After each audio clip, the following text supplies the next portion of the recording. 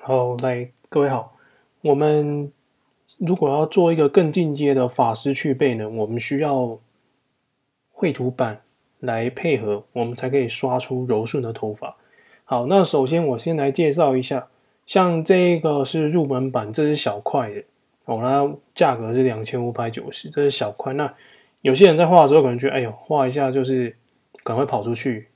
那有些人就已经习惯小块，那没问题，就不用移太多。那选择的话，就是说要看它这个阶数越高的感压等级哦，那就是画出来那个层次感会比较好。好，那再来就是这是小块比较基本款。那如果你要再买中阶的，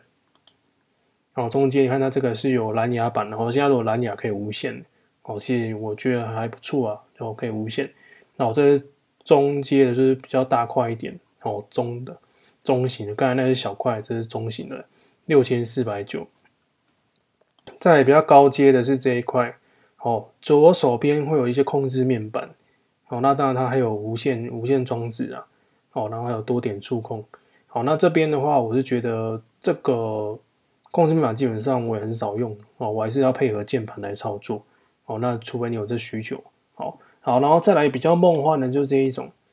好，这一种直接就荧幕式的，哦，那当然它价格很贵。好，那这个的话，呃，我是觉得啊，除非你是一个就是一定要看着画面才会画的，就是看着图纸才会画，没办法说一手在那边看着荧幕，然后一手在画图，你一定要看着那画面，看到笔在那边动，你才会画的人，你可能才会需要这个。哦，那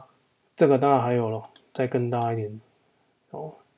像这个都是可以直接上面画。哦，当然是有朋友说他在使用上有些软体变得没有很支援，那这点的话可能就是自己要评估了。哦，那一般是建议就是买到这一块就很不错哦，不然如果你怕自己是三分钟热度的话，那我建议你买中型的，这个六千四百九这一块就可以了。好，那如果你觉得自己都还没有试过，就怕可能会买了之后买到雷之类的，那我一个建议就是你可以到我们这一个。